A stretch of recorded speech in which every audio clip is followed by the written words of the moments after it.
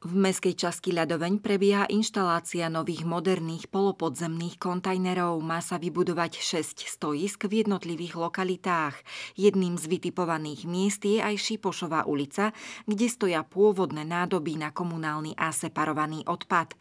Desiatky obyvateľov z tejto i okolitých ulic sa stretli s primátorom mesta Martin a priamo v teréne diskutovali o umiestnení nových ekologických smetných nádob.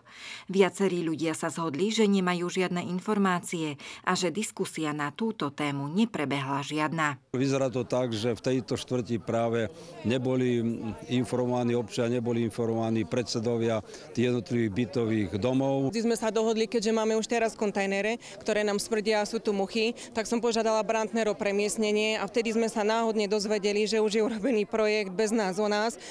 Sice poslanci tvrdia, že niekde nastala chyba, že nás neinformovali. Delegácia ma navštívi skvelá na, počas dňa otvorených dverí a e, vyslovili potrebu stretnúť sa, diskutovať na mieste. Stretol sa to s akýmsi odporom, takže zorganizoval aj pán primátor túto verejnú schôdzu, aby sme to teda vyjasnili, aby tu nekolovali nejaké rôzne fámy, ako to bude, ako by to malo byť, ale aby sme povedali presne, pre ktoré uh, bytovky to slúži a akým spôsobom sa to vynáša, aké sú objemy a aké to má vlastne benefity. Do polopodzemných kontajnerov sa zmestí viac odpadu, dve tretiny sú pod zemou, čím sa eliminuje zápach a zároveň sa zefektívni interval odvozu. Pribudnú parkovacie miesta. Určite v rámci tejto lokality by pribudli 4 parkovacie miesta, kde toho času momentálne sú umiestnené uh, zberné nádoby na odpad, hej, ktoré sú taktiež umiestnené pred uh, bytovým panelákom. V podstate tu sa jedná iba o posun nejakých dvoch metrov pri vybudovaní toho polopodzemného stoiska. Samozrejme, že som za, za to, aby sa nejaké budovali, ale bohužiaľ bez nášho vedomia nám to chcú dať rovno pod oknami, tu na, na detské ihrisko.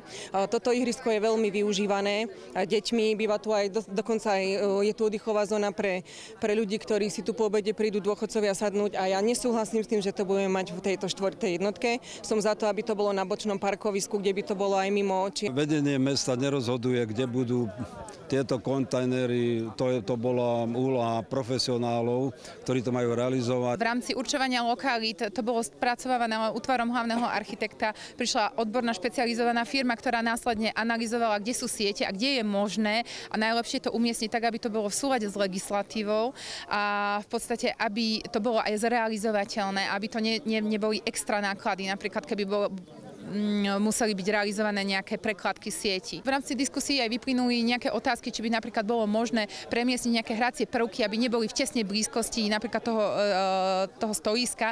Tak my samozrejme ako výbor mestskej časti aj poslanci za mestskú časť ľadoveň e, nemáme problém prísť e, vyriešiť, vyriešiť tú situáciu aj s hracími prvkami, niektoré posunúť, po prípade premiesniť, takisto aj, aj lavičky v prípade, že toto by na tom toto stalo, tak určite radi pomôžeme a prišli sme sem hľadať kompromis kompromis. To sú také prísľuby, tu sa už nasľubovalo na Slovensku toho veľa, proste uh, momentálne nie, nemôžeme s tým súhlasiť. Takisto ja to berem ako riziko, že malé deti tam môžu spadnúť. Videli sme, ja viem, aké sú tie polozemné, tu chodia deti okolo 3-4 rokov, je to ideálny priestor na to, aby mohli spadnúť. Vedenie mesta a predsednička výboru mestskej časti ľadoveň Jahodníky Tomčany ponúkli ľuďom možné riešenia. Vďaka vzájomnej diskusii sa dokázali dohodnúť na ďalšom postupe potrebujeme troška času a priestoru na to, aby sme si to prešli, ale určite to nechceme mať vo dvore a na ihrisku. Zatiaľ v tejto časti sa nebudú stavať tie kontajnery, dáme ich na nejakú inú ulicu a samozrejme do budúcnosti sa občania rozhodú, kde to chcú, ako to chcú. Naša podmienka je, nesmú sa zaberať parkovacie miesta a nesmú byť siete, pod, podzemné, ktoré blokujú výstavu týchto kontajnerov a musí tam byť prístup autom, ktoré odváža tieto odpady. Ak sa to splní, v podstate budeme rešpektovať želanie občanov.